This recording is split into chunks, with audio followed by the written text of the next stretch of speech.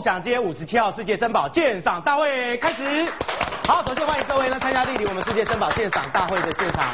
呃，前几天呢，我去这个吃午饭的时候哈，呃，不小心在这个餐厅里面呢碰到我们的粉丝，然后那个粉丝看到我以后就非常非常的热情，然后我不小心呢就看到了他手上呢戴了一个很大颗很大颗的诶蛋白石，然后我马上就跟他讲说，妈妈你这个蛋白石好漂亮。他说我好想参加你们的节目，可是都不知道怎么样来参加，告诉电视机前面的观众朋友来。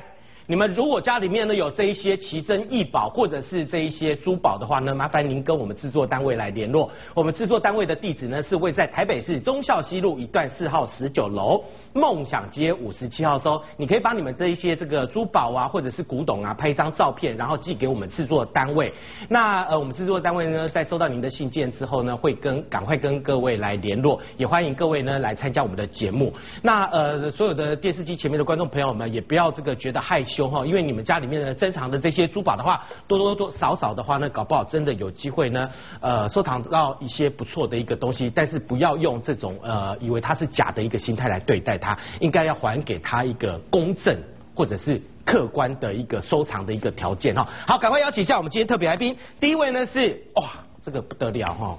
我等一下呢，好好来问一下他哈，他到底几岁？来，胡文英，文英姐你好，大家好，大家好。叫你姐好像有点怪怪的哈。呃，她是美一个美魔女哈，待会我要来好好问一下她的年纪哈。另外呢，第二位也是我们的美魔女啊哈，林阿姨，阿姨你好。阿姨是第二次来参加我们节目，她上回家里面收藏的东西都很好。还好啦，客气。好，来赶快邀请一下我们的鉴定师，我们的花轮哥，欢迎花轮哥。大家好。好，首先我们赶快欢迎一下，就是我们的文英姐，文英姐你好。你好，你好。文英你好，你怎么称呼她为文英姐？她年纪比我大那么多，当然要叫姐啊。乱讲。你也可以称呼她一声姐，没有关系。真的还假？不过我知道一件事，刚才刚才她进来的时候，那个制作人就一直跟我讲，他说你是他们的标杆。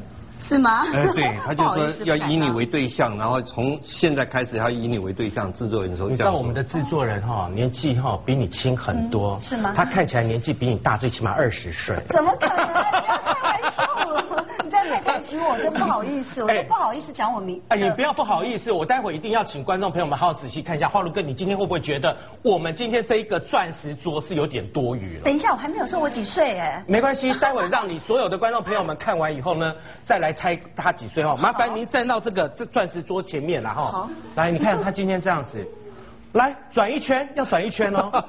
天哪，那个腰实在是细到不行。哎，你这应该是十八腰吧？没有啦，没那么夸张。你这腰是三个小孩，我腰啊二十三。等一下，等一下，你生几个小孩啊？我生三个，三个。你三个小孩，先告诉所有的观众朋友，你三个小孩的话有多大？华伦哥，你仔细听好哦哈。OK。你应该有儿子对不对？你儿子对对对对对。你儿子应该还没有结婚吧？还没有还没有。还没有哈，来来来来，他他女他你你生。我生三个，然后两个女生哈。呃，两个女儿。两个女儿，一个男生哈。是。来给各位看一下，那呃，观众朋友们印象应该会非常的深刻。他两个女儿的话呢，都是黑社会美眉。嗯。一个叫田娥，一个叫冰冰。嗯。你看，天啊，这如果出去的话，根本就是姐妹淘啊。对，有时候就常常被人家认为姐妹这样子，所以我就不得不打扮自己啊，变得很累了。文英，文英姐，现在花轮哥都没有看你，他在看这两个。我 我本来就是在，我看他女儿有多大啊？他在选媳妇了。是哦，那你觉得哪一个你比较重要？我等下留电话给你。如果你问问问我们的话，那是每一个都会很中意。真的吗？那我们就刚好两个对两个啊。哦，真的？那那我们到时候脸书加一下。哦，没问题，没问题。哇，今天就是亲家了啦，哈。哦，那今天等于是来相亲的，对不对？还 是来相亲？哎，来，阿姨，你有几个女儿？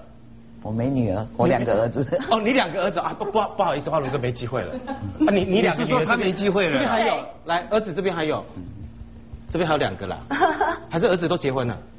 大儿子结婚，啊，孙都在那。哦，孙子都在那边了，没机会了啦哈。好，来那个来，我们请回来这个钻石桌，我们今天应该要把这个钻钻石桌给它撤掉才对。是。好，那那个呃文文英姐的话呢，她其实很特别，就是说她早期的时候其实移民到澳洲。啊，对，我们家大概在我二十岁那一年就移民到澳洲，就全家移民。嗯，对。是那你在呃以前二十岁以前的话，嗯在台湾听说有学过珠宝哟。啊、我二十岁，对我就大概二十岁之前，那时候学了呃两三个月吧，啊学了一些皮毛这样子，啊然后之后接触到珠宝，我就非常的喜欢珠宝，然后我就常常会买珠宝啊什么的。但是因为有一年，就是我女儿啊，她满月的时候，我二十七岁那一年，那很多人来我们家，那时候大概四五十个，因为我们家是别墅嘛，那我们就请华兴牛排去办自助餐，嗯然后结果家里的珠宝全部都失窃了，啊就是。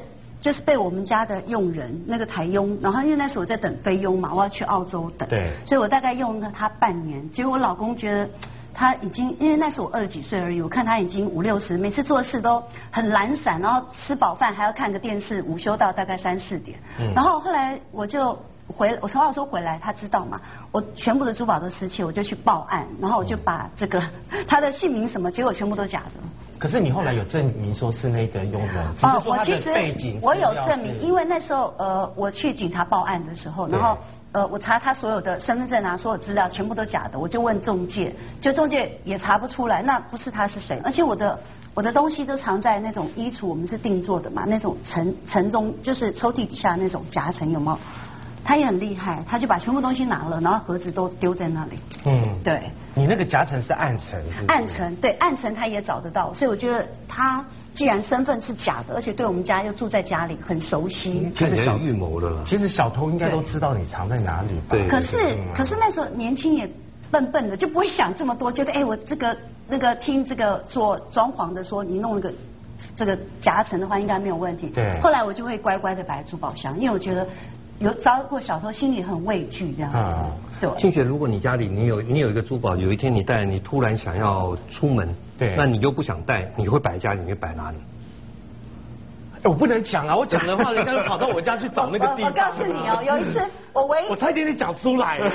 其实我跟你讲，呃，就是我没有摆在家里，我就是没有摆在保险箱之前，之前我摆在家里，我就是唯独两个没有被遭窃的，就是这个红蓝宝。我啊你是藏在哪边我我反而没有摆在夹层里面，我不知道为什么那时候我糊里糊涂，我是把它摆在我的那个大衣的口袋，有可能是我在想哪一天我忘了摆进去，然后我穿外套这种地方都很容易被抓。不会，因为大他衣太多了，他没有办法一个一个找。对因为我的觉得这还衣服比较好把你连大衣都一起拿走了。没有没有没有，但是我觉得衣橱底下那个是最危险的。对，我觉得那最危险，因为比较少人会知道在衣服里面，因为感我衣服又爆多的，那就是整间都是衣橱间，啊，全部都挂满你如果。要一个一个找，可能找不到。而且我自己那时候还很庆幸，可是也有可能你自己放到哪里，你自己都我自己真的不记得。那有一天我穿了那个大衣，哎，我口袋怎么有两枚戒指？啊，还好我有摆在衣服里。那那花轮哥，你觉得应该放在哪里？呃，就今天讲完了以后，我以后那个地方就不会放了。好那你不过我告诉你这放来，垃圾桶对不对？啊垃圾桶不是都有那个塑胶袋吗？对啊我们都把塑胶袋套在垃圾桶上对，我都把塑胶袋拿起来，然后把那珠宝摆在那个塑胶袋下面，然后再把塑胶袋盖起来。是哦，那会不会哪一天不小心把塑料袋整个包？没有没有，。回到家的时候你赶快要收起来，因为平常基本上你不是长期放的地方嘛。那也很累耶，每天都要检查一下。不是，是说如果你有珠宝要回家，你这一次没有想到就不想带哦对对对对，不想带出去。哎这是一个好方法。对对对，但是你现在所有的小偷听到以后，以后都会去找可是。我，觉得所以明天开始就没有了啦。我觉得还有一个方法也很好哎，那个我们家不是有种树嘛？你把它埋在土里面也不错。哎，我跟你讲，对不对那个像我们家有花园我之前在国外的时候，发现了那个金币，有没有？就是对对对藏在那个藏在树的树下，对对我们家有花园，我应该弄在底下就对了。好，来我们来看一下这个，然后这个是珍珠，你也知道说珍珠的话，现在因为中国大陆养殖的关系，所以价格都不会太高。呃，可那是你那时候买的时候呢是我？是在日本买的，因为听说哦那时候在日本，呃，我买也有十几年前了。这个珍珠也大概那时候价值十二三万，然后他们买的时候十二三万这是那一。家对名牌的吗对，我是那家吗不是，我是在免税店买的。？M 开头的那一家 M 吗？呃咪对咪咪咪，对对对，你 那一家吗？是那一家的吗？我我想是在日本的免税店，如果那我们就每个人都就姐妹啊，看这家这大家 logo 不像。logo 不像 logo 对买十三万，几年前。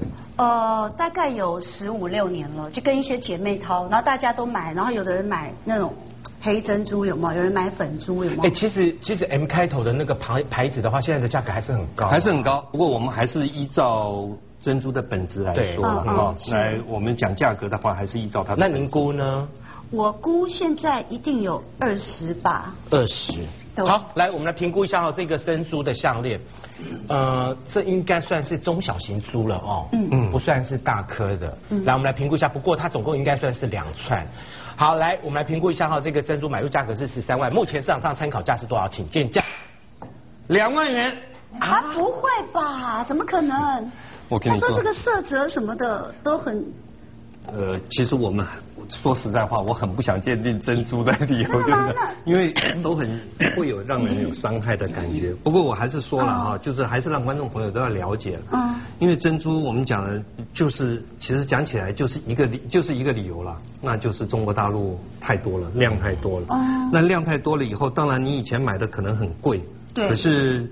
的确啦，以前确实很贵，可是确实现在真的很便宜。嗯那那怎么办？我把它弄成珍珠粉来吃，可以吗？哎，对耶，你讲的是没错，那珍珠干脆把它压成珍珠粉来珍珠粉搞不好弄一弄的话，都比这还要贵。对啊，为什么？对，真的真的是把这种这种珍珠真的是拿来做珍珠粉。对他们说可以吃，那你这样是讲的话，我根本就这么便宜，我干脆弄来吃算了。呃，可是终究它现在还是一个饰品啊，珍珠粉也不会比这个好，对啊，不会比这个贵哎，。花龙哥，它这个它这个算是淡水珠，对不对？这个是淡水珠，就是养殖的，淡水的，对，就是养殖哦，这也是养殖的。对，这都是养殖的珍珠。不过你放了十几年还那么漂亮的话，我觉得 OK 对啊啦哈。怎么会我早期真的很多人很多人买这个到日本去都会买，太小了。真的吗？要买大颗的。要买大颗的要大颗哦。不过珍珠说实在的哈，呃，十几二十年前买的，嗯然后到我们节目里来估价的话呢，其实都不好哦，因为最主要的话就是它是养殖的嘛，没办法哦。好来接下来的话呢，我相信哈，呃，小偷，你看小偷的话，哎，这个那时候小偷已经那个了吗？啊，那时候小偷还没有偷走，还没有偷，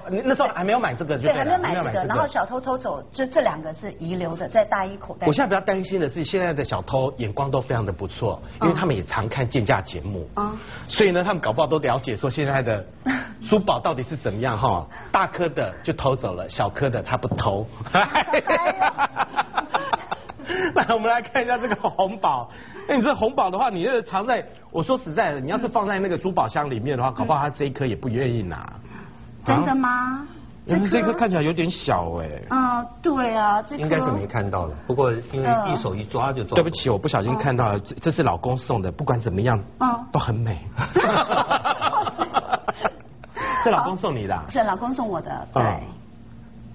嗯为什么会送你这个？呃，我生日他常常送我就是生日礼物，就会常常送我一些戒指啊、耳环或项链。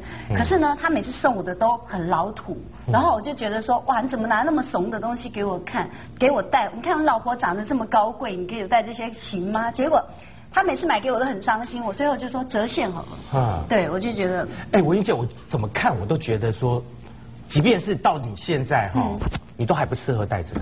是吗？嗯太老气是不是？对对，所以你看他眼光多差，对不对？所以我之后就叫他不要没有，那是因为你看起来太年轻了，所以东西在你身上的话就看起来有点老气。哦。不过这个样子应该是把它做成一些对你来说应该做一些设计的作品。不过你有两个女儿，你应该请你女儿去帮忙一下，把它做成一个设计作品。行啊，这老公送的，怎么好意对，思把它弄？哦有而且十几年我女儿搞不好也还就是还很小，就哦 baby 而已。然后她又是在她朋友的珠宝店买的，对，就他朋友开珠宝店。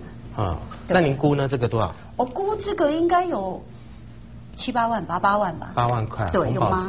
我自己觉得，你知道这有多重吗？我我不知道哎。不知道，这应该了不起，就是一克拉多吧？这不到一克拉。不到一克拉吗嗯？，这看起来是不到一克好小拉哦。嗯，这不到一克拉，看起来在七八十我想说它应该还有最起码有一克拉。嗯，好，来我们那们这个价值多少？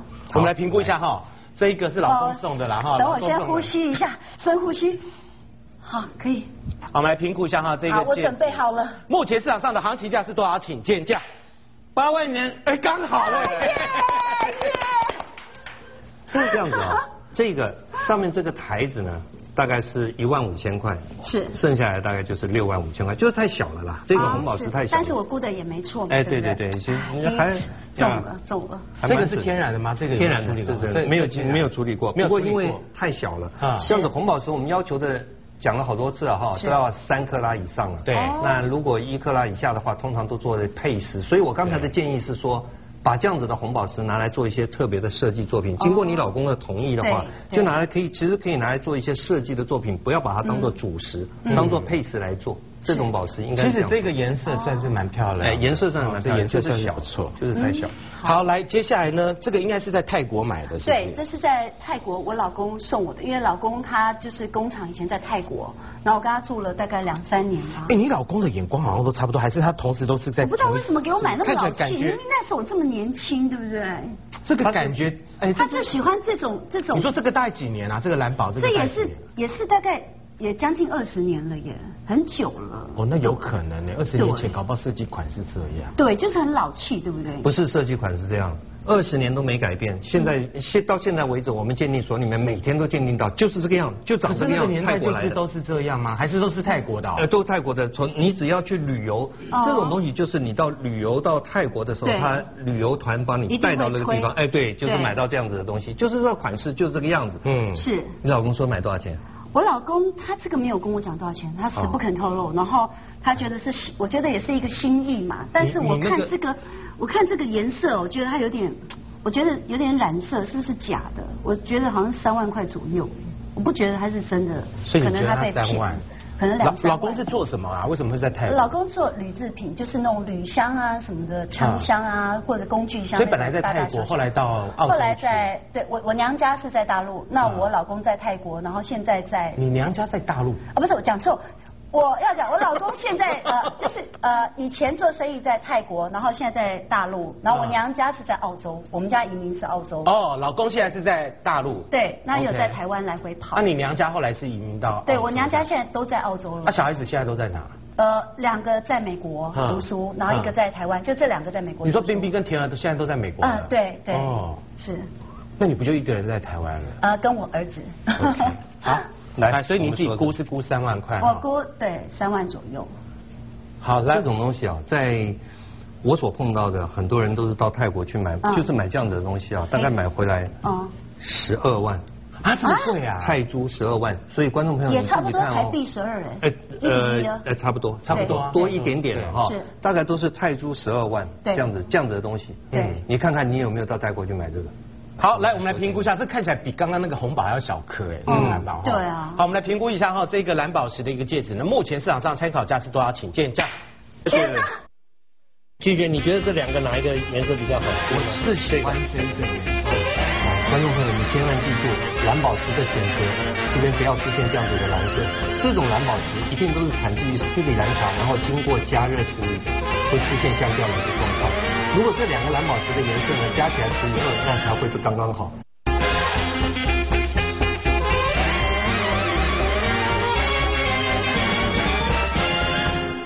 来，好，来我们来评估一下，这看起来比刚刚那个红宝还要小颗哎，这个蓝宝。对啊好，我们来评估一下哈，这个蓝宝石的一个戒指呢，目前市场上参考价是多少？请见价。两百元。它是它是假的吗？这假的。这个是假的这个我说至于吧？你说对对蓝宝石你说在是假的泰国我，快受不了你说买到贵那就算，怎么会买到假的？所以你老公聪明，你老公没跟你讲说他买多少钱，那是对的，你看。假的对哎我一看就觉得它是蓝宝石是假的啦，哈哦。那这样子的蓝宝石，如果是真的话，大概到我刚刚说的是真的，到旅行团的话呢，哦到泰国去曼谷啦，哦都有一家固定的对固定的一家珠宝店在卖十二万哦这样的东西。不过是假的话，因为成本只要两百块就可以买到了。嗯。啊，你千万记住。哎，这个也很坏耶我！回去既然是假的，要好好他就骂他一顿既然是假的，他最起码也做大颗一点。就是老对不对猜是两三万已经够。哎对啊，我跟你讲，这种这种假的，它是按照那个尺寸来算哈，有大有小，一直从哦小的大概这像这样子的大概两百块一颗，那如果稍微大一点的话，大概就三百块一颗，没什么太大差别，天哪！都没什么差别。对呀，那他应该做大一点啊！你要卖，既然要买假的，就是啊你，大颗一点，让人家舒服一点。对呀，最起码哎但是最少就带了一个小小的，然后又是假的。对呀什么意思啊？有一点呢、我在想啊，因为如果是呃这样子，这个是假的，所以它里面都没有什么内含物。如果你比较大颗的话呢，从外面的透光一看就可以看到，哎，就马上可以判哦断，出来。就一眼看穿如果你如果太大，然后卖那个价钱，人家也会觉得说对对对那应该是假的。哎对，对对嗯对，所以他就弄小一点的来卖。所以我就说他笨嘛，我就叫他不要帮我买东西，对不对？折现给我不就好了？不过有的时候很难说，因为你老公并没告诉你是买多少钱，说不定你买一百块。怎么可能？在珠宝店买的。天哪，这个其实其实去到那个观光景区或者对你说那个导游带去的那个 shopping 点的话，应该不至于会买到假的啊不会不起那个不会买到比较贵的觉得他应该是去当地对的。对对对对对好，来，接下来听说也是老公送的啊、对。天哪，你你到底有几样是你老公送的啊、你老公怎么那么好？就几乎对啊，那之后我就叫他不要送了。每做一次坏事的时候就要送一次。确实。真的是这样吗？你都把结婚过的男人都丑化哦。来，我们来看一下哈，哈，这一个是，哎，这个是翡翠吗？这颜色是翡翠啊？呃，这是翡翠，对，也是老公送的，但是他也没有跟我讲多少钱。也在泰国买的吗？还是？哦，这个在台湾买的。哦这在台湾买的，对。这种然后是我东西大家都生日的时候买的，对。啊这也是生日哦。对。你看它的它的那个，其实它也不大颗哈，而且它的厚度也不算是薄的不算是厚的。是。好，来，所以你不要赔就好了哈，估是估八万块。好，我们评估一下哈，这个翡翠的一个耳环呢，耳坠子哈，目前市场上的参考价是多少？请见价。三万元，哎，还不错，还不错。可是光那个钻石跟那个金属两个就要两万块。所以那个翡翠的价格不高，对不对？因为它有点薄，对，太薄了，而且颜色颜色也不是哎呀，很一般，不够对，而且它也不够透，对不对，是就是一个大概五千块钱。对。可是哎，接下来这个是不是一对的啊？呃这应该看起来像一对的啊。那是因为那是因为呢，老它公的样子也一样啊。对，就是我选的，因为主要是呃，我老公买了给我这个之后，第二天，然后因为他就是你知道，他常常惹我生气，然后他反正就是呃做生意嘛，常常就在应酬啊，什么三更半夜回来，然后我就很就就还蛮蛮就是不爽的，我就跟他约定，然后他就说。好吧，那你这个卡随便拿去刷什么之类的，他就说那就拿那个卡。第二天我就想说，哎，这样子也不错啊，那我自己去就是买一个这个，那我当然还买一个项链长的那种十字架的，可是那个也被拿偷走了。那这个呢，就是我就为了配这个耳环，我觉得哎一套就好看，嗯对，所以我就买了。所以你那时候是买了裸石，然后请那个哦，不是，我是整组，我就直接买整组。你买整组啊，就还能够找到一样的。对，我就是你是还是跑到那家我是特别跑，我不是跑他那家，就是我特别选周边就是差不多的款式。嗯对，那时候买但是这个翡翠的质感好像比刚刚那个，我觉得比那个好。对，它比较透一点。不过它有一个缺点，就是它有一排呃一边是白色的。哦，对，嗯，来，导播来一个近镜头吧，看这里，庆学说的是摆在就上面那边上面这边了，嘛对上面有一点哦没有？来，我动一下，你可以可以。但是另外一边的话，它就是那种这边是绿的，还 OK 的。你那时候这个这个戒指是买哎，多少？我好像买十五万吧。哦，那也不便宜耶。。对，几年呐？呃，也大概十几二十年了。十几二十年二十年了，将近。你自己去买的啊？这是我自己买，因为我为了配耳环一套。哎，文英，你现在的东西都没有一个赚钱的，啊，不会吧？至少有一个是平而已啊。平啊。对啊。啊，真是的。那这个让我赚一下吧。试试看，我 我尽觉得这个，我觉得。这个你也好难哦。你说几年前啊？快要二十年要了。二十年，对二十年前这个应该不会买那么贵吧？可是还哦，是阿姨蛮贵的。对吗哈？阿姨一直偷笑，你看。真的吗哪有？偷笑？没有偷笑啊！好，来，我们来评估一下了哈。好，这个翡翠的一个戒指买入价格是买十五万，您自己估是估多少？二十万它是估估二十20万好，我们来评估一下，现在目前市场上的行情价是多少？请见价。六万元。哦，赔了一半。天哪！我本来显微镜下面你看一下。好我跟你讲，它有一个很大的问题，好，很大的问题是裂吗？对，不是裂。来，我们来看一下。来，好你看，你看到什么？这是一个 A 货了，是没有错，这完全是一个 A 货。可是呢，就是庆学刚刚说的，看到了这个地方有一块白的，有没有？嗯那我们常常在说蛋面的哦，因为它本来就已经很小了。蛋面的最怕的两件事情，观众朋友你一定要避开。如果你手上有蛋面的，或者你要去买蛋面的戒指的时候，你一定要避开两件事。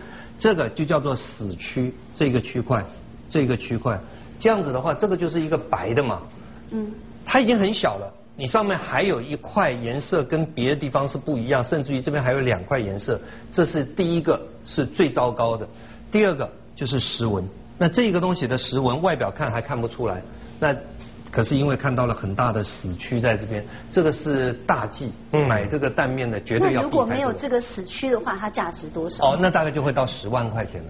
哦，没有视觉，可是说整个的颜颜色都是呈现说底下是一个全部呈现这样子对，，因为你的还是小，嗯对啊，还是小，大概就是十万块钱所以不。管怎么样，他还是买贵啊，买贵了那是不是因为他看我太急着要买，所以骗我钱？怎么差那么多？你你一开始跟我说十八万，你一定一开始你就跟他讲说我要买，对，对，我要配对，对对对然后他还说算我便宜了，本来说十八万，然后我说啊十五万，就不喜欢浪费时间，我想选到中意的就把它下去了。对啊，你就是好客人呐。那那我应该是因为跟你的时间比这个珠宝还要来的 贵，嗯所以那没办法了。哦，好，来，接下来呢，我们来看一下哈，这个是翡翠的一个手环。嗯。哎，您，哎呦，这个怎么会是像你戴的啊？对啊，这个就是我老公送我的啊，我就觉得这好像那个凤冠霞好帔上面像好像古代人有没有 那种古代那种阿奏那种有没有在戴的？我就觉得太夸张了，他怎么送我这个？这个这个手环有一点有一点老历气，可是如果你把它做成胸针就很好。胸针也可以。啊，哦胸针就还比较 fashion 一点。哦嗯这是是设计师这种在要是在古代的话，就是发簪那一类的啦。对，我也觉得好像哦古代的东西。对，这很像古代的。对，所以为什么我但是其实说实在还蛮典雅的，但是只是说很可惜，它的哇，它这个是薄片当中那种薄片吧？对是蛮薄的。你看它这已经薄到，薄到这个薄到已经看不到啦，这个这个也太厉害了，这个是是是，这个那时候买多少啊？呃，也是十几万哎，对啊，是你自己挑的？不是我，不是我挑的，是我。你看他现在都不承认，真的不是都全部把我责任，要把责任丢给不是我丢给老公。。对。来，我们来说金额吧。好，来，我们来评估一下啦哈。好，这个。你确定是老公？确定是老公还是老公的妈妈送给老公，叫他拿给你的？好，来，我们来评估一下哈，翡翠的一个手环哈，买入价格约在十二万，目前市场上参考价是多少？请见价，五万元，哎还不错的，对是吗因为那么薄片，真的真的，自己把自己打五折、六折、四折就对了哈。我还把它当做一个饰品来来处理。哦如果说哎，如果说你是把它一颗颗拿下来的话，其实没有很多钱。还有一个嗯，这个东西啊，它是运用了一个反光的效果，把那个钻石啊，好像看起来很大，其实钻石都非常非常小颗在这里面，一点点。钻石每一个每一个里面都夹了一点点小小的钻石在里面，这个就是呃，因为玉石本身呢、价值不高，所以它的配钻呢，它也没有配到很好的钻石啊，就是一点点的钻石配在里面。不过终究还是一个完整的大件的饰品嘛，嗯哦，所以大概就是五万。所以这整件就是障眼法就对了。哎，对我的钻石哎讲得好我觉得是，这就基本上还是让你感觉上是一个饰品，还蛮大的一个饰品。可是因为每一件呢，它本身的呃零件呢，这样说零件都不是那么好，哦哦，零件都是一般的。哎其实这真的，如果是当胸针的话，你穿个黑色的衣服这样子把它别在还不错啊别在上面的话，应该是还蛮做胸针可以啦。因为它搭那个黑色，它就会很跳对对对。回去立刻改。哦，你这应该把它搭起来的。好好，好，来，接下来呢，我们要看一个呢，这个，哇，这颗应该就是不得了，这应该是老公的求婚戒，是不是？是。没错，这个历史很久远了，对。哇塞，天哪，这个未免也拖得太高了我跟你讲。哦，这个真的是啊他带我去选的时候，我实在是气死了，因为他说就专门给我选一些很老气，还选更高的，然后我就说。拜托，我说这带这个东西怎么做家事？他说不会啊，这是出席重要场合啊什么的。对啦觉，得这个不是来给你做家事。不是啊，我就想说结婚戒指就要天天戴。哎，你要不要你要不要戴起来？你现在还能戴吗？还能啊你戴起来给所有观众朋友们看一下，这到底，哎，其实不错哎，其实还蛮好看的啊。不过我建议一下，把它电镀一下，电镀一下把它。变白的，哎，变白的 OK 镀成白的。哎，我们这样子正面看的时候，其实并不会觉得它很高啊，但是你在侧面的时候从侧面，可以从侧面这边这样侧面来给观观众朋友看一下啊，侧面这里，侧面看起来的话就会比较高一点。对，我觉得太高了。嗯，这是以前的设计。对，然后最后我才选到这，我就老公他拿了好那时候是拿几个给你挑？他拿了大概也有两三颗吧，然后最后我就只好选这一颗了，我没办法，嗯因为真的我觉得也是要结婚嘛，他的心意我一定要接受，所以所以这一颗朋友们都跟我说，哎，既然你喜欢平的嘛，对不对？比较方便，嗯你怎么拿去改呢？我觉得拿去改好像就是不是我们那种有那种初衷了，对我要维持那种爱的初衷，对。那你如果说电镀重新换一个颜色，呃换一个颜色的话，我觉得可以接受，只要不要改它的形式就好了。哦，对，请见价。来，老公的爱心，看看求婚戒这个是花了多少钱？也大概十十多出出那有有十万出头证书吗？这个有没有证？有证书，可是我证书全部摆在一个地方，然后不见了。哦 对，不没有没有 GIA 的证书了，看起来。啊，对有吗？，应该没吗有，应该没有对。好，来，我们来评估一下哈，这个结婚戒一克拉多的一个钻戒，买入价格是在十万，目前市场上参考价是多少？请见价。十五万元。哎，还不错，终于赚钱了。这个就是大概在一点零一或一点零二，刚才我量一下，大概是直径大概是六点五了。啊嗯，这直径是就是零点六五公分，啊，这样子的话，大概零点六五公分的话，大概就是一克拉附近。嗯啊，所以大概一克拉左右，十五万。其实我觉得求婚戒的话，用一克拉差不多啦。对差不多不过现在是稍微钻石好像比较贵一点。没有你说二十几年前的话，对相对的话对对对对差不多现在贵了对。哦，那我还是赚到，对不对？嗯，所以这颗其实应该不需要再重新处理了。呃，只要换一个，你说外面嘛？除非你想要戴，你要是不想戴的话，我觉得就这样保持原其实我就保持原状你。干脆让你老公跟帮你换一个三克拉的好了。哦，也对，重新换一个就好了，哦对不对干嘛对啊换直接送他三克拉就好了。哎，对对对，不这也是，嗯，这我说的。对啊，好好好。你跟他讲说，我们的第一颗钻石是赚钱的，应该要拥有第二颗。那那到时候节目播出，我就叫他看这一段。哎，对对对然后他就帮我买一个三克拉。然后买一个三克拉，你说不够，以后要留给女儿，有两个女儿，啊一个都要有一个，所以要有两个三克拉。是是不过，说的好，说的好。不过他答应你以后把它买回来三克拉的时候，你还要再拿到我们节目来，我帮你确认是真的还是假的。好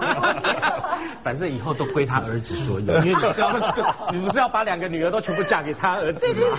那那这样子，你老公不是在替我儿子打工吗？好了，你这打什么主意啊？好了，今天非常感谢回应姐，谢谢。谢谢好，接下来呢，我们要特别欢迎来自台北的林姐，林姐你好。你好，先生好。林女士你好，哎，你怎么又改改口变成林姐？哦，没有，她刚刚她刚刚在那个节目中场的时候跟我讲说哈，她以前比那个文英姐还要辣啦。哎，这个我听到。哦对对对哎，不光是这样子，而且她说她的腰身比她还要还要细哦。我已经很美了，而且你根本不算什么美魔女，她才是美魔女，人家都已经做阿嬷了，对不对？还好啦。哎，你刚刚你刚刚那个广告中间的时候，那个中场的时候说成这样子，现在要快收起来。刚才对他呛虾，来，你全部来来来，再重来一遍。文英姐你对他你坐正，呛虾的好，文英姐你再来一遍。你？刚刚不是跟我呛虾吗？来来来，比较一下，来来来。他说为什么文英姐可以坐站在那个台子前面那边秀身材，她为什么没有？来，给你秀一下。我我今天穿这样怎么秀？没关系啦，你看秀不到一样来秀一下，秀什么阿麦郎我给哈，来转圈圈哦，来，哎呦，你看 model 呢，哦，掌声鼓励一下。好 你赢了你赢了 赢了啦哈。没有没有现在哎，现在呃，林姐你现在是当阿妈是不是？对啊，你那个孙女今天也有来了哈，你看她真的是，哦，立马盖厉害呢哈，很服气，就是那么年轻就已经有孙女了。年轻还好啦。哎，其实搞不好再过两年你也要当阿妈。啊，真的真的。天哪阿妈现在都那么年轻啊对。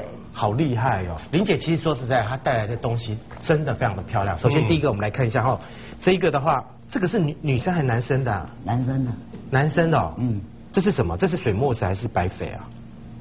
哎，说实在的，我那个啊，这算白白玉吧？白玉，我不知道。白玉还是白翡啊？白翡吧，白玉。还是水墨纸啊？你知道这个水墨纸吗？不大清楚。他不知道。对。哦，你不知道但是老公在买我们节目里面有介绍过那个水墨纸，它其实跟白翡有点像了哈。嗯来，但是呢，这个的话其实还蛮漂亮的，里面呢好像看不到什么哈。另外呢，它底下是有没有封啊？封封的封底的，这老公戴的啊。老公戴的，平常。你的老公那个手也太小吧？我你看我戴尾期刚刚好。哦，他可能戴这一只吧。哦，来给花龙哥看一下，还蛮漂亮的。如果它是白翡的话，就很漂亮。啊、嗯，如果是啊，怕就不是白翡，对买，哎呦，这个价格是几年前的、啊？大概二十年吧。哦，那有机会。我问一下那个文英啊，嗯，你估他他他估大概这一件大概在多少？裸石哦。裸石啊，嗯这这一件一件呃，我觉得应该有七万吧。你你真的涨价一定会涨啊你真的会被你要是哈跟那个我们的林姐出去喝下午茶，你一定会被她骂死。为什么？人家估一个价格是估二十五万，你跟他估一个七万块。我对我对这懂不了解，市场行情？我真的不了解，对不对？哈，对吧？哈。不仅身材要比，年龄要比，珠宝也要比。没有啦，年龄不敢比啦，年龄大他一哦，轮年龄不敢比，年龄大好啊。导播但是给我一个近镜头我们看一下。看这个东西很重要，就是石花跟石纹，有没有看到？没怎么看到啊。哎，没怎么看到，嗯对不对？好看，起来所以会怕，太干净了。嗯，那我们来说金额。好，我们来评估一下哈，这个白翡的一个戒指，你自己估是二十五万了哈，然后那个文英姐估是七万块对哈。我来评估一下哈，这个白翡的一个戒指呢，目前市场上行情价是多少？请见价。二十万元。哇！恭喜恭喜！我跟你说，这样子的东西啊，白翡这种白翡啊，就是第一个，它这边高度还 OK 嘛哈。那最重要的一件事情就是，如果我们这样子看呢，你在动的时候，如果你都没有看到任何的石纹跟石花的话，它就是好东西了。嗯可是因为我们用十倍的放大镜，我们确实看到一些黑点跟杂质。嗯可是如果你从十倍的放大镜看到的，那不算。就是那个是可以判断它的真伪，而不是判断它的品质。就以肉眼看的话，看不到的话，其实都算是不错了。对不对对对对好嗯，好来，二十年前真的两万块可以买得到哎。对，这个东西二十年前不太值钱的，现在现在其实要找到这样那么干净的带很难。对对对，哇塞，不得了。它这个弧度什么都不错，高度高度了，对，它的厚度也有了哈。好，来，接下来呢，这个应该是你自己带了啦。对，这是我的。天哪，他怎么东西都买那么便宜啊？你买那个十几万，啊那么你厉害你买那个十几万的东西，真的会被他骂死。为什么以前我都没有因为他也是二十年前啊，跟你的年代是差不多的。对啊，为什么我没有认识林姐就可以带大概二我去买十？二十五十十多年都有，大概都是二十年都是。外面跑单帮直接卖，你不是去他直接？找到家里给我选那你怎么。不找我？我认识你就好我不认识你啊了。那时候不认识啊，你们现在认识的话，那个对对对。珠宝商人赶快介绍给他，还是你的东西可以转手卖给他好了，反正你家那么多嘛，比较快了对啊，比较快来，我们来看一下哈，这个翡翠的一个，这个其实跟你刚刚那个有点像，嗯，对，但是它的水头比较好，而且呢，它的透度，而且它是冰种的样子，嗯。嗯。它的透度比较好，但是它的颜色一样，好、有那个花轮哥刚刚讲到的一个对。死区，嗯。来，但是它的厚度很高哦，而且长度也应该有两公分吧，有这个长度两公分了。两公分以上。你看他买三万五哎，裸石吼，裸石光中间那一颗，他是卖卖卖你一批，还是说只单卖一颗啊？没有，他拿两颗还三颗给我选，啊我选这一颗。你就选了这一颗。那时候要找到这种透度的，然后他就是正说绿色同一个石石头有有三颗叫我选这样啊，，正绿色的呢？就是这绿色的就是他手上戴的这一个，来，对，这颗也是吗？这颗也是那时候选的一起的。没有跟这个一起的？不同的你看它这一颗。不同的资料，嗯。对了，不同的时代，不同的时段选的不对。一样的。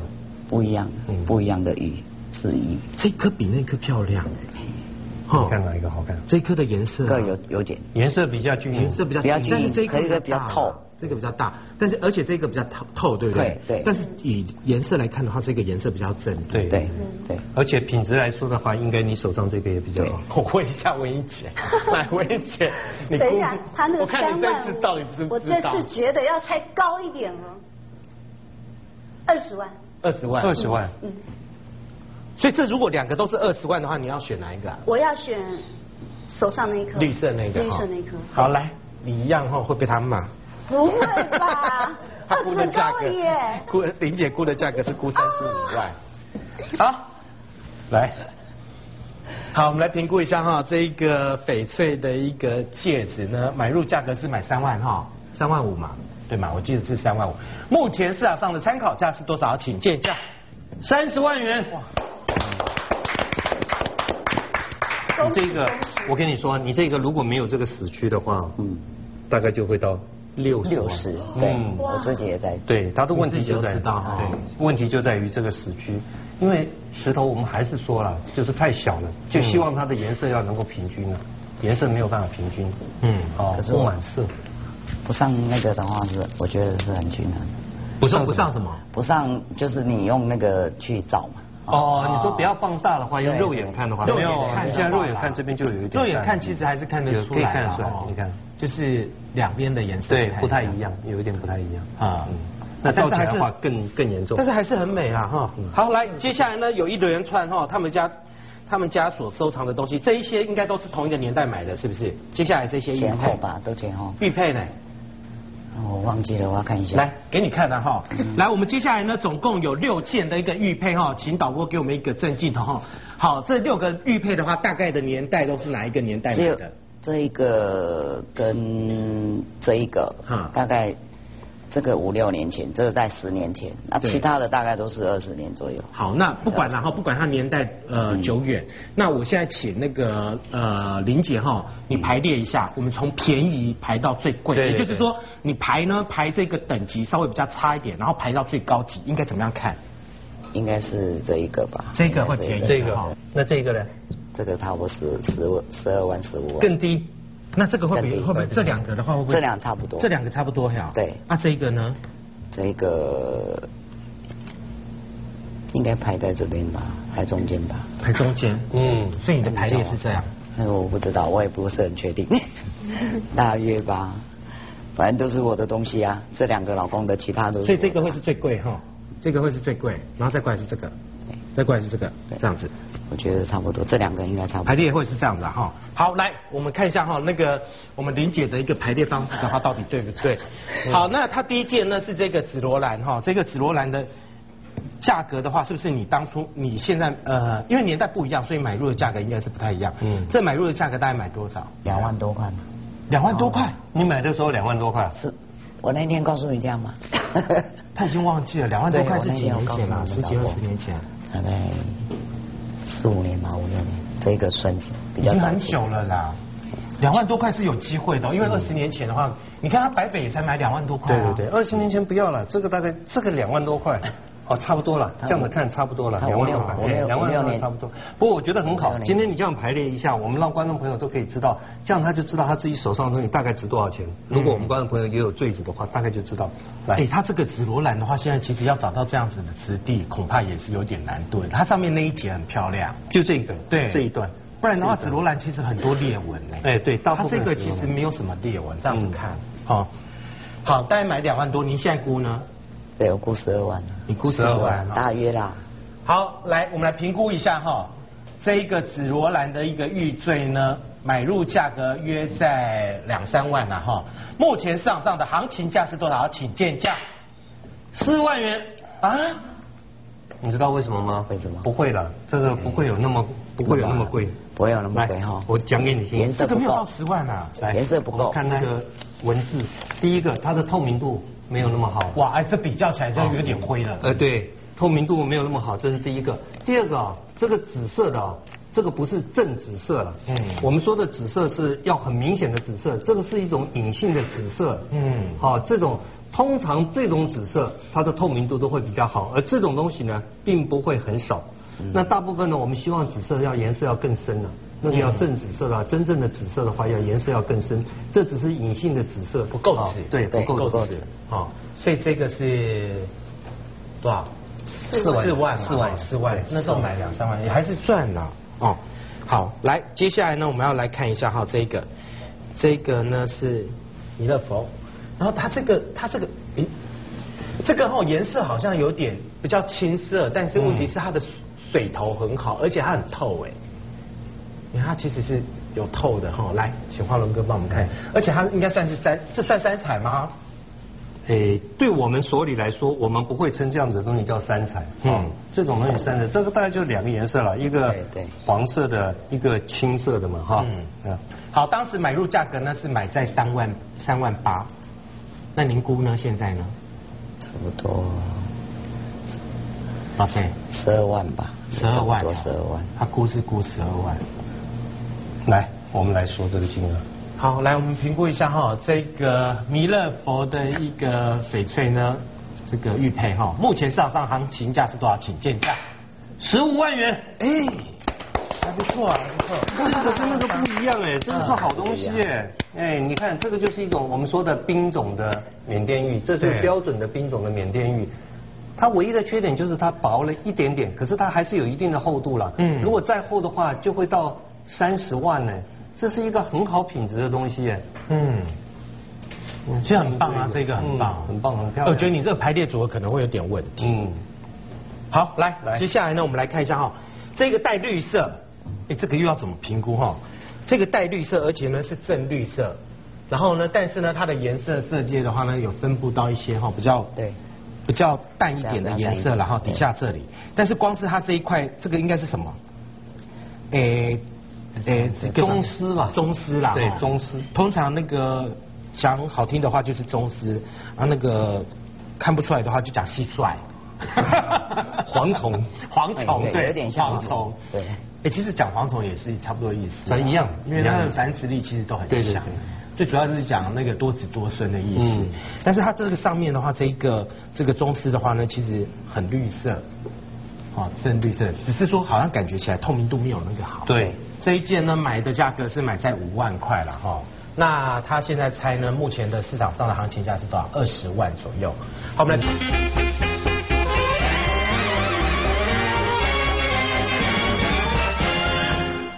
好，我们来评估一下哈，这个中丝的一个玉佩呢，目前市场上的行情价是多少？请见价。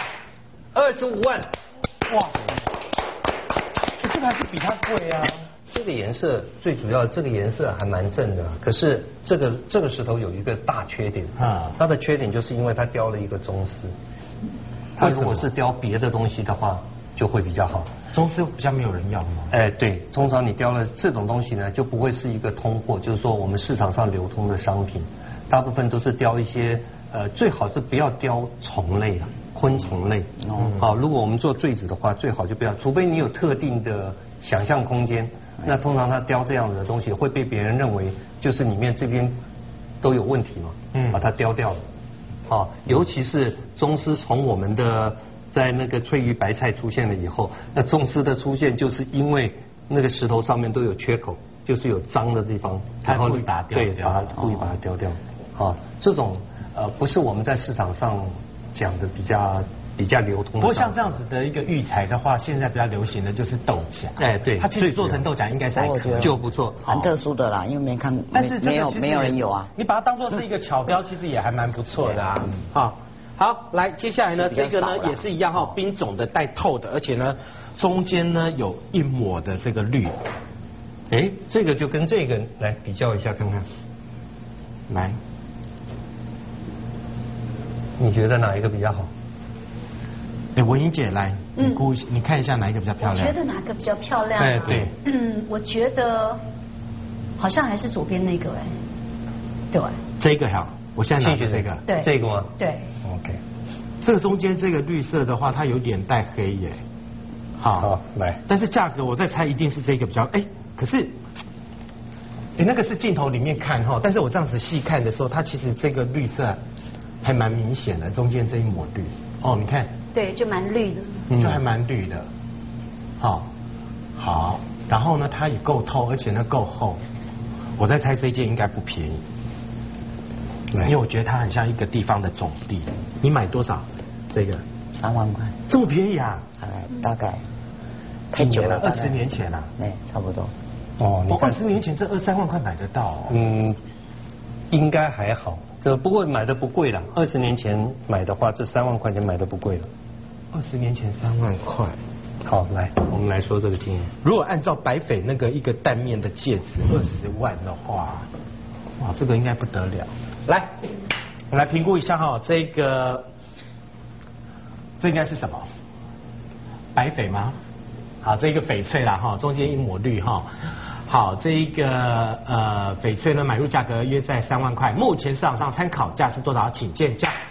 五十万元，哇，哦，哎，你的东西真的还不错哎，哦，会挑哎，他对二十年前就知道要买这种东西。你这个这么厚，这边也够大，嗯好，而且你的形制是刚刚好。它这边好像刻一个三三个什么，然后上旁边刻一个节节高升，是不是？哦，对对呃，这样子哦，瓜蝶名言是我们还是讲它本质了。嗯本质的话，这石头的本质，第一个这要三公分嘛，哈、嗯然后它又有一定的厚度，这看起来也已经超过了零点六公分嘛。不止哦。嗯，对，不止啊，这边呢、已经超过了嘛，哈、所以它基本上它有一定的尺寸，这就是我们说的现在最好的通货了。因为你摆在胸口那边呢，作为你的坠子的时候是刚刚好，这种大小是刚刚好。哎，花轮哥，他这个是不是木拿种的啊？对，就是木拿种。对对对，因为它就是标准木拿种。仔细看的时候，它有一点一点一点的白白的。哦，有一点点白白的，像雪花这样子。对对，这样的漂亮。好，好，这个是木拿种的一个玉佩。好，接下来呢，我们要来看的哈是一个，这个呢也是正绿色哈，然后它里面有飘了一个非常清楚的一个绿色的一个色带，它雕的是什么？它其实算是。哎，你的雕刻你其实都有仔细看，是不是？因为我看你的雕刻其实都还算是蛮细致的。我老公看的。你老公看的，老公都懂这些哈。你看他这上面的话，有雕刻一个东西在这，哦，非常的细。好，来，这个买会不会比较贵啊？这个，因为它带绿的。买是买多少？啊这个买两万两万五，两万五的。你的东西都是买两万多块、三万块。就是二十几年前买的。哦。他现在买的价格没有说有什么节日。我刚帮他看了一下，你看他二十年前买的价格了不起，就是两三万。嗯。现在估起来的话呢，最起码二十万以上。那个那个成长倍数的话，你现在把你家的那个珠宝拿出来算一算的话，哈，再乘以十倍以上的话，应该就是你们的那些珠宝的价值。嗯。你的你的东西真的是不错。好，来。这个是买两万五了哈，那他估呢？现在大概的行情价是在二十五万。我们来评估一下哈，这个呃翡翠的一个玉佩呢，目前市场上参考价是多少？请见价，三十万元。自己拍手。好，来我们看就是绿色的。另外还有一个最贵的，最贵的话，你这个大概估估多少？啊，林姐。啊？这个？这个那时候我买十二万。十二万，这应该是里面你买最贵的。哇，它这个绿色的地方是很漂亮，比较起来的话，可是啊，我觉得，哦，就是我有点可惜了，就是有些就是这个地方嘛，没有，有点可惜，就是有点可惜，就是它的它的那个比例比例就是下面太细了一点，下面太细，对，可是也没办法，它就是这样子料啊，但是它这个这个它的颜色也不均匀，对，哦，它都我想它都算的话，嗯。这个来看是还蛮漂亮，白的，这个缺点就在于这个白的太多了，哦，而且还有一个，我觉得应该是早先的东西，现在的话，我相信他一定一开始设计的时候就会把它挖掉，他一定会把它挖掉，他没有把它挖掉是蛮可惜。你说哪里挖掉？白的。可是白的那个地方挖掉的话，就剩薄薄的，就是这个这上下没有办法连在一块了。呃，可以可以可以，它这边这边还是绿的嘛哈，就是你这白的这个地方太多了，这白的地方如果能够挖掉的话，你要重新设计了，因为石头本来就是一整块块，诶，你可以把它做成一块，可是你要看怎么设计，把它做成什么样的东西，可能就不是做成现在这个样子。好，来我们来评估一下哈，这个是应该它里面买最贵的哦哈。把这个翡翠的一个玉佩呢，目前市场上参考价是多少？请见价，五十万元。哇，这个有点可惜。这个如果能够把这个挖掉的话，只剩下这个的话，全部都是绿色的话，我在想应该会有到八十万。请人家再重新设计，设计那个。看看看看能不能再重新设计。好，接下来呢还有两个哈，这一个呢是一对的，我们一起来看一下。这个呢是蓝宝石的一个戒指，以及这个蓝宝石的一个项链。那这个男戒，哎，这应该不同时间买的，这应该不算是一对啦。不同，不同。这个是你戴的，这个是老公戴的。对。因为大小好像差不多，对不对？差不，嗯，差不多。差不多啦，哈，大概都是在四克拉到五克拉左右。中间。你觉得你觉得比较贵的是哪一个？两个价位好像差不多。这个我这个旁边。链子不用算，就是裸钻的，对，就是两个多两两个价位差不多。你买多少钱啊？大概四五万块吧。一颗十五万。四五万吧。四五万，五万块了，大概买五万了。对对，一颗。四颗拉买五万哦，这么便宜啊？怎么那么早？好，来，花龙哥，我们先估哪一个？好，我们估这个。估这个哈。嗯。好，来，我们来估一下哈，这个是蓝宝石的一个戒指哈，这个是四克拉。那么你买大概是买多少？这个是买五万，五万嘛，好五万，我们来评估一下哈。目前市场上参考价是多少？请见下，十万元，涨一倍。你这个算是还不错的东西。好，可是我现在想要来讲这个东西，我们来讲这个价格，然后我们再一起来说这个。到底哪一个比较？哎，对，到底哪一个比较好？可是就以他买价来看的话，其实，但是时间不一样，差了多少？差差了多久？差了七八年有。